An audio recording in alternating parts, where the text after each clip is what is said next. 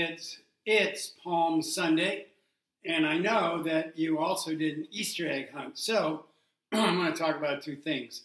On Palm Sunday, Jesus, who we love and is really the center of the Christian faith, a man who lived 2,000 years ago. But we also understood he was not only a man, a person, but he was also God.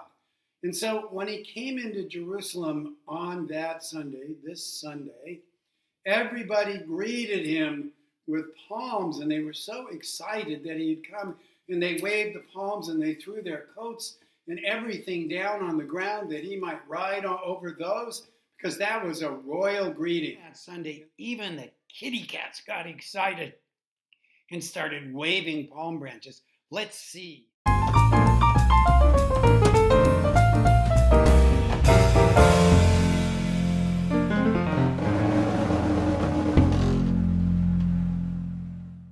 Problem was they didn't put their faith in Jesus.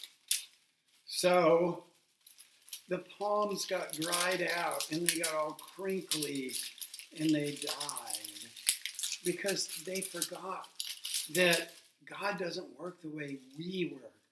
And so on Thursday, Friday morning, Thursday night, Jesus had dinner with his disciples. Then he went out to pray and they arrested him. And they took him to court and they decided he was guilty.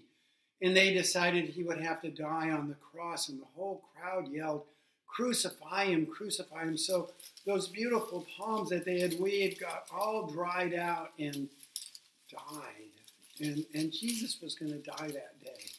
And, and he died on the cross because his love for us was so. After Palm Sunday, after the palms all dried and the people didn't see Jesus did what they wanted him to do.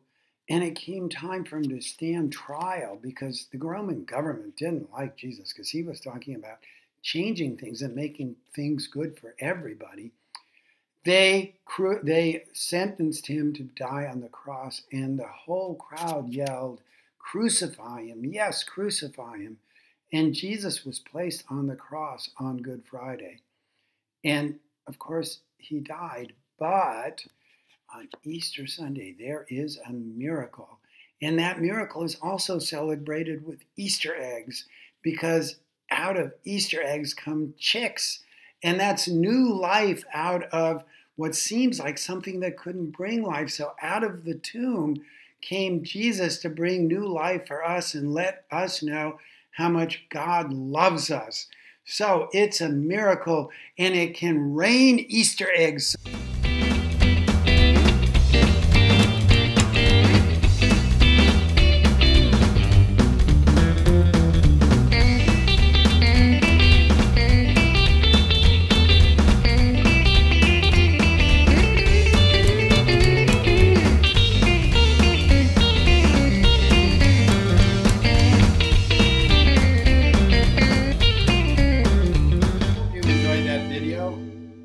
I thought, why don't we say a prayer? Oh God, we give you thanks that your Son came to be with us, walked with us, taught us, brought the children to him because he loved children as much as he loved anybody. And that though we said, no, we don't want him, the people in Jerusalem said, no, let him be crucified.